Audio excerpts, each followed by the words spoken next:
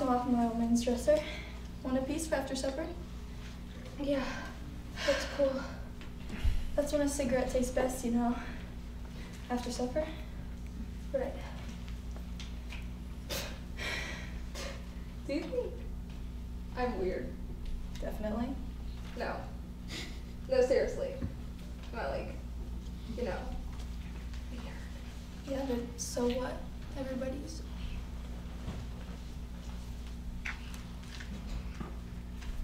So, you, um, you ready for school? No.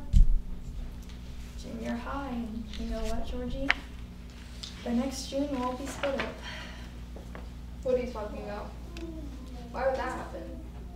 Because it's not going to be like grammar school, that's why. You're going to be in college courses. Me and Teddy and Sherry, we'll all be in home ec courses with the rest of the housewives making blankets and cooking macaroni. You're going to meet a lot of new people. Smart people. You don't have losers, is what you mean?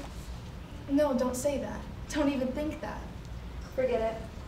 I'm not going in with a bunch of losers. If you don't, then you're an asshole. What's asshole wanting to do with my friends? It's ridiculous if your friends can drag you down.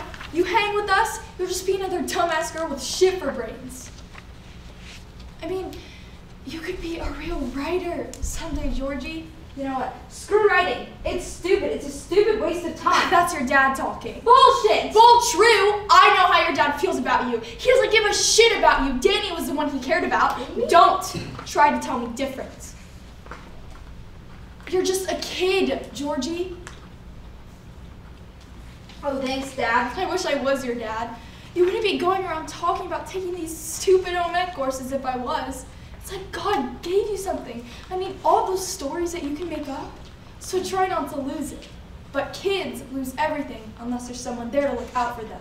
And if your parents are too screwed up to do that, then maybe I should. Now come on, I have a potty.